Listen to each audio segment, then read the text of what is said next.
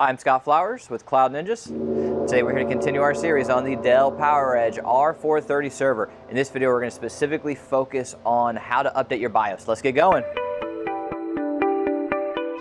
Well, hey, thanks for stopping by today to learn a little bit more about the Dell PowerEdge R430 server. Do us a favor, if you find anything in this video useful, click that like and smash that subscribe. All right, let's hop in. Uh, this video is going to be uh, relatively quick. We're going to show you how to update the BIOS on your R430 server. The way that we're going to do it, it does not require an operating system. Um, if you do have an operating system and you want a uh, pretty cool way to update it, two videos from now, we have a mass updates video that's going to update your BIOS. It's going to update your onboard diagnostics, uh, your firmware, plus a ton of other stuff, and that's a pretty cool way of of updating your BIOS. I highly recommend that two videos from now. But for this video, if you're in a pinch and you just need to uh, be able to update the BIOS on an old machine, all you're going to need is a USB drive and the BIOS uh, EFI file, and that's it. So we'll show you step-by-step -step instructions right now. Hey guys, this has been with Cloud Ninjas, and today I'm going to be showing you guys how to update your BIOS. So this is going to be a pretty easy, simple set of instructions. We're going to start out by downloading an EFI file from Dell's website. We're going to put this EFI file on a USB drive. Then we're going to move that USB drive and plug that into the server, and then from there we can access the EFI file from the boot manager and run our BIOS update. So let's go ahead and get started is we want to go to Dell's website. And on Dell's website, we want to go to support and then support home. And then where it says identify your product, you want to go ahead and type in the name of our server.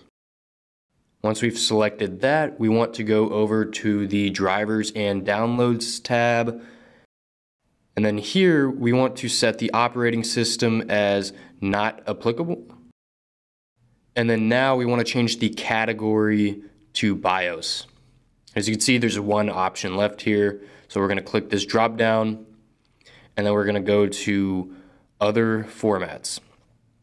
Now we want to click the download button that is across from EFI and this is going to download the EFI file. So it's a pretty quick download. Once it's done downloading, we want to go ahead and go to our file explorer and we want to find where our file downloaded to and then we want to drag it over to our USB drive on the left hand side. And once we do that, that's going to copy the file in there. So we are all good to go to move this USB drive to our server and then we can begin the BIOS update.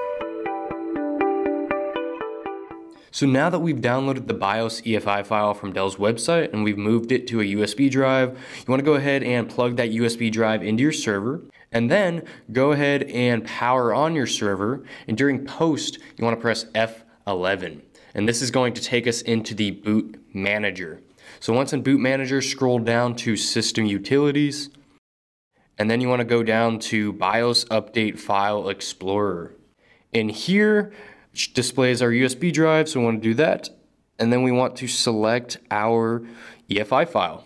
So once we've selected the file name, it'll give us this black screen here. So we just want to wait a couple of seconds and then it'll pull up this screen. So we just want to click continue BIOS update. And at the very top, it'll show your current BIOS version as well as the version that we are upgrading to. So like I said, just click continue BIOS update and then it'll give a second to load.